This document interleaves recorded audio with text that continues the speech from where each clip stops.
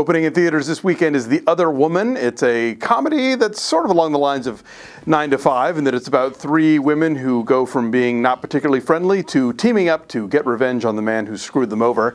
Uh, in this case, the man is Nikolaj Coster-Waldau from uh, Game of Thrones, and the women are his wife, played by Leslie Mann, his mistress, played by Cameron Diaz, and his new mistress, played by model Kate Upton. It is directed by Nick Cassavetes, son of legendary indie director John Cassavetes.